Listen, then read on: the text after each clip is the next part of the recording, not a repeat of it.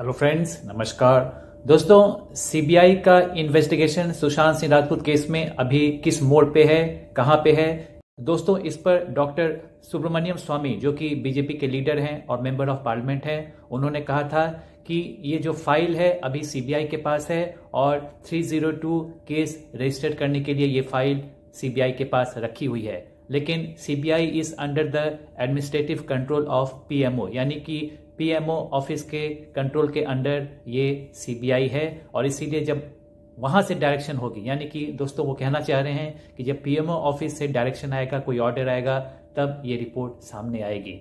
दोस्तों ये बात डॉक्टर सुब्रमण्यम स्वामी ने कही है, जो कि बीजेपी के लीडर हैं और मेंबर ऑफ़ पार्लियामेंट है, इसीलिए इस बात की इंपॉर्टेंस बढ़ जाती है। दोस्तों, मैंने आपको बताया था कि डॉक्टर स्वामी ने सीबीआई को चेतावनी भी दी थी कि अगर सीबीआई सच्चाई सामने नहीं लाती है सुशांत सिंह राजपूत केस में तो तो वो कोर्ट भी जा सकते हैं।